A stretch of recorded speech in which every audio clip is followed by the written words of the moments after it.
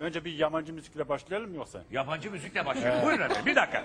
Ekran başındakiler Fox TV'de işte a- a- Konya'dan Altılar Köyü'nden Kasım huzurlarınızda.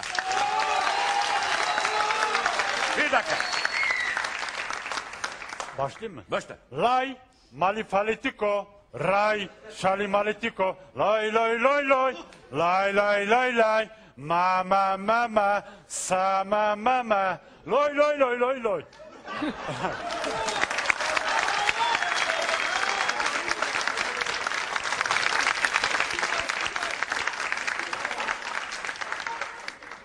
Bir şey söyleyeceğim bu senin besten mi? Ben kendi bestem. De ayrıca bir beste, iki, iki tane bestem daha var. Onları ilerleyen dakikalarda İleride alacağım. dakikada sen söyledin Ama sen. bu beste gerçekten nasıl geldi ilham? Vallahi ben kendi kendime, Tuvalette mi yaptın bu besteyi? Yok. Nerede? kendi kendime gel, yani, Yani o- tarlada mı? Tarlada mı yaptın? Vallahi bilmiyorum. Ezberlemişim yani. Birdenbire geldi. Ezberledim. Nece oluyor bu? İngilizce mi?